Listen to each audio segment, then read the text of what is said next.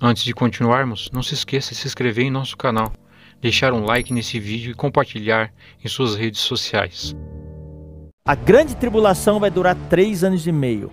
Na última semana de Daniel, que são os últimos sete anos dessa era, bem no meio, vai ocorrer o arrebatamento dos vencedores.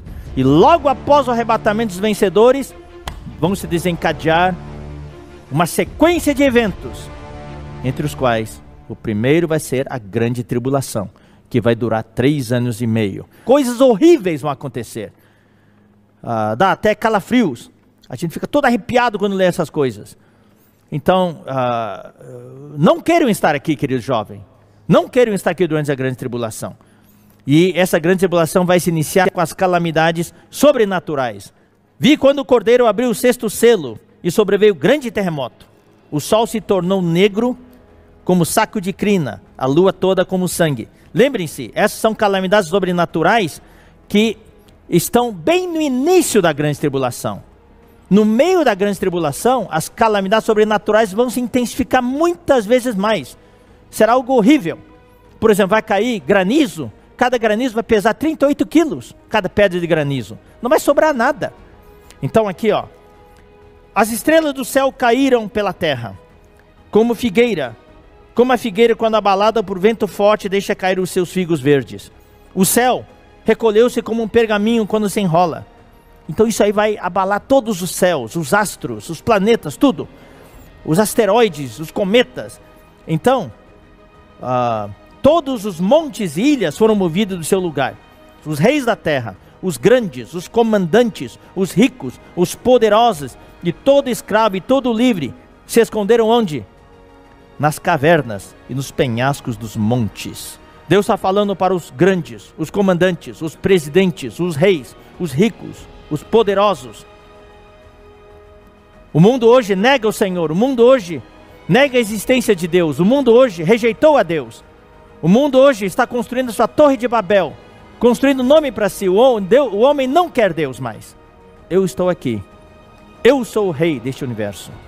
Eu governo este universo. Eu estou aqui sentado sobre o trono. Segundo grupo de pessoas para quem Deus quer falar é a igreja. Deus está dizendo para nós e está dizendo para você, jovem, hoje à noite. Eu estou voltando. Estou convocando um exército. Está na hora de se alistar. Está na hora de deixar as distrações. Sim, nós podemos continuar trabalhando e estudando, mas o seu coração tem que estar focado em alguma coisa em participar do propósito de Deus, da vontade de Deus. Você precisa se alistar no exército de Deus, se você quiser fazer parte desse exército vencedor que vai ser arrebatado. Você sabe, a Torre de Babel não foi construída com pedras, foi construída com tijolos. O templo foi feito com pedras. Nós somos pedras vivas, não tijolos vivos. Deus faz a edificação com pedras, mas o homem rejeitou a criação de Deus, rejeitou a obra de Deus, e desde a Torre de Babel, o homem construiu a torre com tijolos, com barro e betume.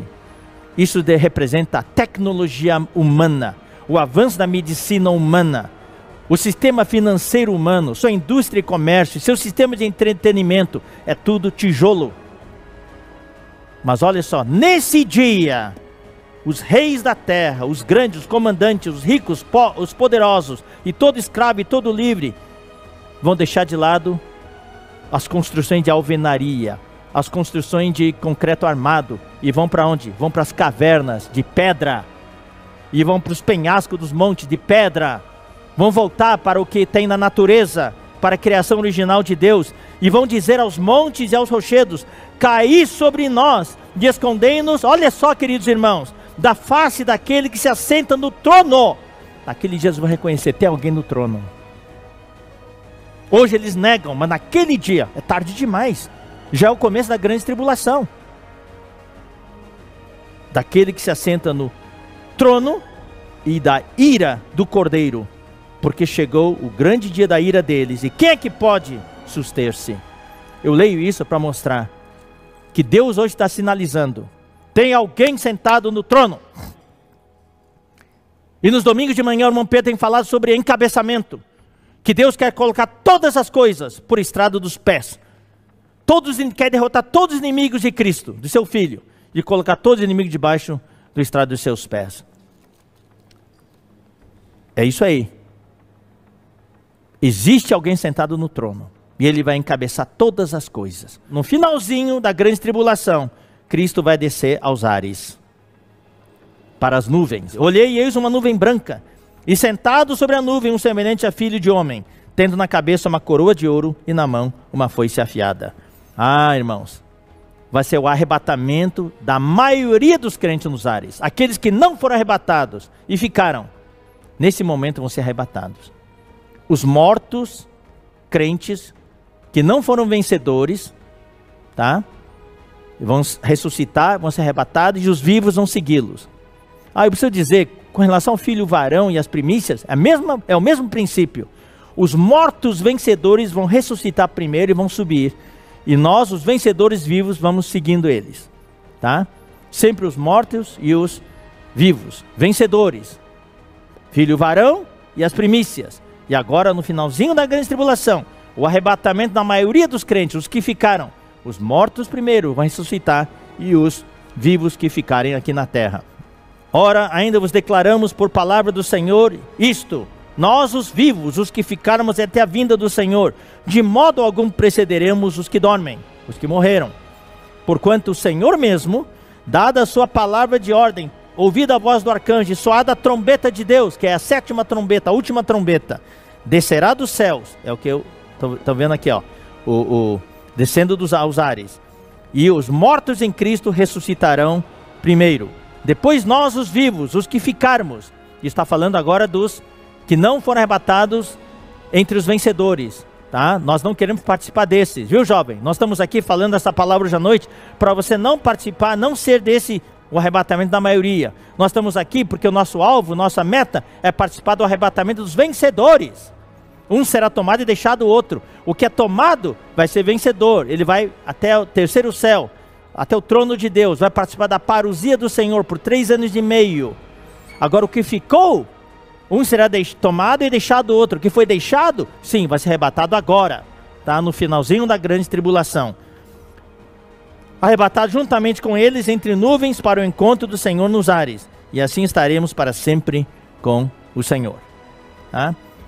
E daí, o que, que vai acontecer? É que daí nas nuvens, onde o Senhor vai estar.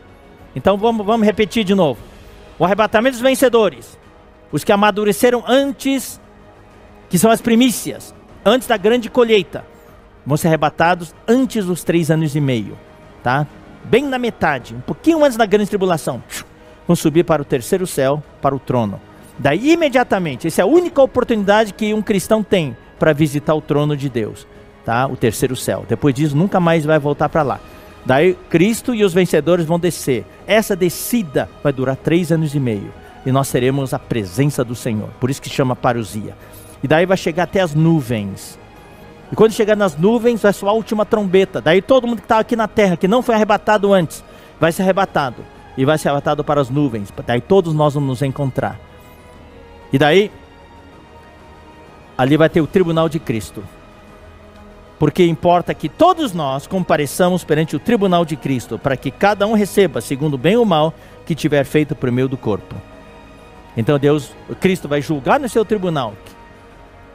Os vencedores entrarão no reino e os derrotados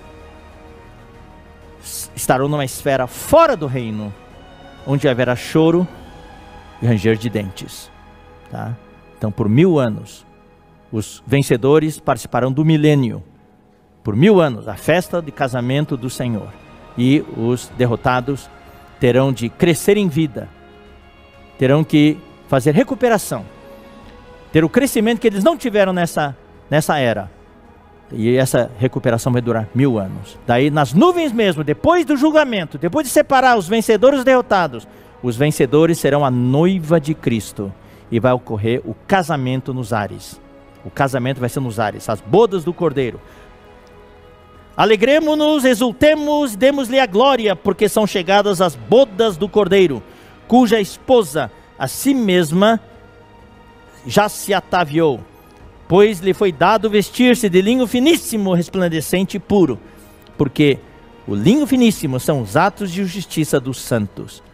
Por isso que nós falamos bastante no sábado à noite, veredas da justiça. É o que nos leva a ser vencedor. Então me falou o anjo, escreve: Bem-aventurados aqueles que são chamados à ceia das bodas do Cordeiro. E acrescentou: São estas as verdadeiras palavras de Deus. Então o casamento vai ocorrer nos, nas nuvens, depois do julgamento. Daí o que, que vai acontecer? Daí, o, última, o último evento da parousia do Senhor. Cristo com os vencedores vão descer para a terra.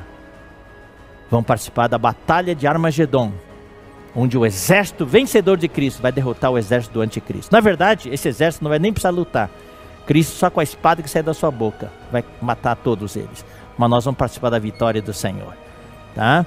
E depois de ter uh, matado o anticristo e o falso profeta e seus exércitos, que serão jogados direto para o lago de fogo, sem julgamento. Daí Cristo vai chegar até Jerusalém, Daí ele vai convocar, juntar todos os judeus de toda a terra. E ali vai estabelecer o reino milenar. E aí vai ser a festa. O casamento vai ser nos ares. Mas o reino milenar vai ser uma festa de mil anos das bodas do cordeiro, do casamento do cordeiro. Então, queridos irmãos, isso aqui é de uma maneira muito rápida, um resumo dos sete grandes eventos da parousia do Senhor.